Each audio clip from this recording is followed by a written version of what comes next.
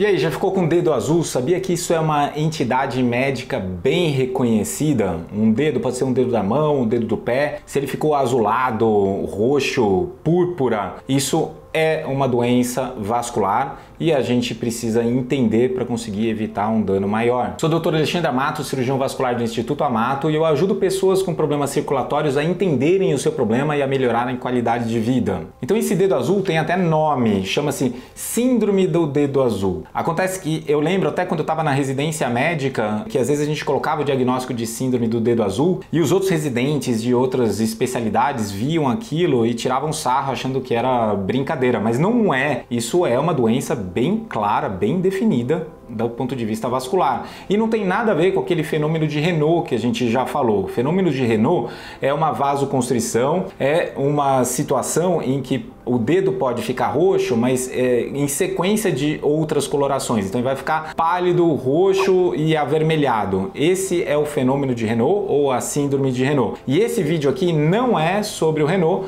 é sobre a síndrome do dedo azul. Então você já teve o dedo azul, conhece alguém que teve o dedo azul, alguém na família está passando por esse problema, tá lá com alguma extremidade do corpo azulada, comenta lá embaixo que eu quero saber a razão pela qual você está aqui no vídeo, para saber o que, que eu posso fazer para ajudar, um outro vídeo falando de outro aspecto da doença. Tudo isso é muito importante para a gente melhorar aqui o canal, para ele ficar mais adequado para suas necessidades. Então o termo síndrome do dedo azul foi cunhado lá em 1976, foi a primeira vez que foi usado, mas outros casos já tinham sido publicados na literatura uma década antes. E a síndrome do dedo azul então estava relacionado com a embolização. O que, que é? Isso é quando um pequeno fragmento de alguma coisa solta e vai parar lá na frente, obstruindo algum vaso da árvore arterial. Então a síndrome do dedo azul é uma, um dedo roxo, violáceo, não desencadeado pelo, pelo trauma ou pelo frio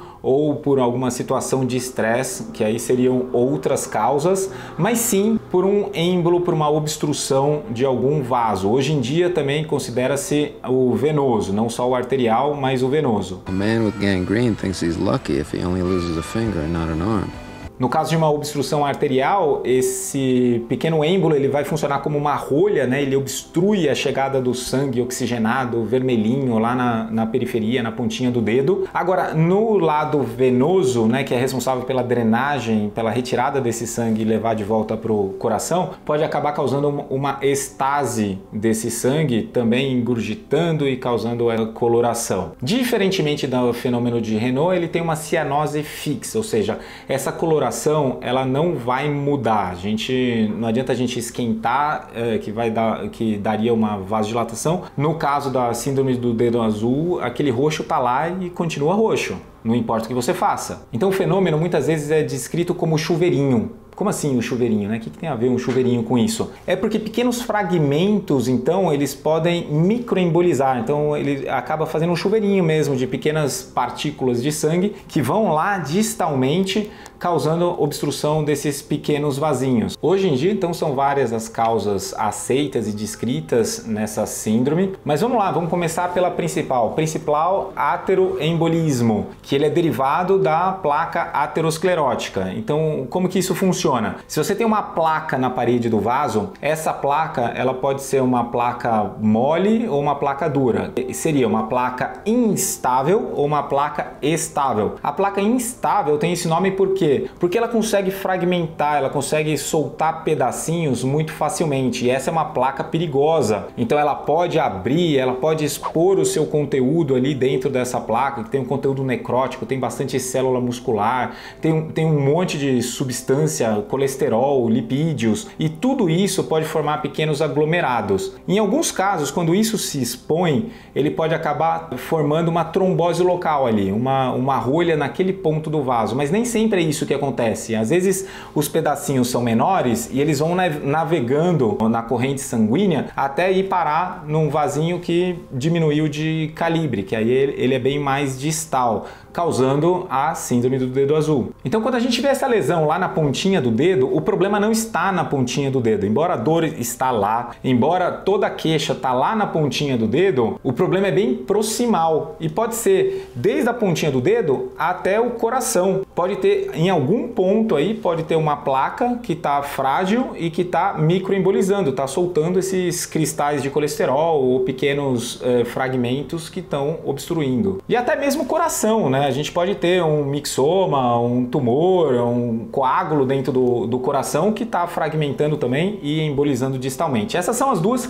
principais causas: a placa aterosclerótica, que é uma doença que o cirurgião vascular atua, e as doenças cardíacas que formam coágulos e êmbolos. Hoje em dia também é aceito várias causas para trombose, então doenças é, do sangue que podem desencadear trombose podem entrar como uma, um fator causal de um dedo azul. A vasoconstrição, desde que ela seja é, constante, né, que não seja facilmente reversível, ela pode levar a um dedo azul. Várias doenças infecciosas e inflamatórias, como a doença de BC, que é uma doença autoimune, ou mesmo a sífilis, também podem desencadear essa obstrução. Gangrene set in. A gangrena venosa, a flegmásia, né, são doenças mais complicadinhas e tem a doença do sangue também, que várias, né, crioglobulinemia, que é da competência do hematologista. Mas resumindo tudo isso é, se eu tenho um dedo roxo, eu tenho que ver todo o caminho, todo o trajeto circulatório e tentar buscar alguma fonte aí que pode estar tá soltando esse chuveirinho de microêmbolos. Parece simples, né, pessoal, mas o problema muitas vezes só aparece assim externamente quando acontece no, nos dedos e por isso que tem esse nome. Mas se você parar para pensar, esses microêmbolos eles podem parar em qualquer órgão do corpo, como a, as nossas artérias estão lá irrigando o fígado, irrigando o rim, irrigando o intestino e tudo mais. Eu posso ter esses pequenos fragmentos obstruindo a artéria de qualquer órgão. E aí eu posso ter sintomas em órgãos diversos. Por exemplo, vamos, vamos falar do sistema renal. Então, se eu tenho uma placa na aorta e essa placa está fragmentando, soltando esses, é, essas bolotinhas lá e acaba obstruindo uma artéria do rim, isso pode acabar levando a uma queda da função renal. Então, vai aparecer que o rim não está funcionando. E quando o rim não funciona, tem uma alteração grande da pressão arterial. Uma outra coisa muito comum é no sistema neural. Então, essas bolotinhas podem ir lá no cérebro e causar uma obstrução no cérebro. O que, que acontece? Acontece uma isquemia vascular transitória. Então, a pessoa pode ter todos os sintomas aí de um AVC e como a plaquinha é pequenininha, pode acabar regredindo e aí não é um AVC completo. Mas esse mesmo cristal de colesterol, ele pode obstruir uma artéria retiniana, uma artéria lá do, do olho e acaba ficando cego momentaneamente. Isso tem até um nome, é a, a cegueira eh, monoocular transitória, que seria amaurose fugaz, né? A pessoa fica cega por um tempinho e isso passa. É uma plaquinha lá que está obstruindo essa artéria. A bad infection could lead to gangrene. Na pele a gente vê essa gangrena, vê essa isquemia, mas pode aparecer também um livedo reticular, que são aquelas tramas de, de, coloração diferente, né? Fica vermelho, pálido nas pernas. Isso também pode acontecer por causa de um evento como esse. No trato gastrointestinal, então estômago, intestino, o que, que pode ter? Pode ter dor, pode ter diarreia, pode ter até um sangramento, pode ter um melena, que seria fezes bem escurecidas, fezes pretas. Uma microembolização para o pulmão pulmão pode causar uma hemoptise, ou seja, começa a cuspir sangue, catarrar sangue. E no corpo em geral pode trazer fadiga, dor muscular, pode trazer febre também. E como que a gente sabe, né? Tô com o dedo roxo, como que eu vou saber se é por causa de tudo isso? É a história.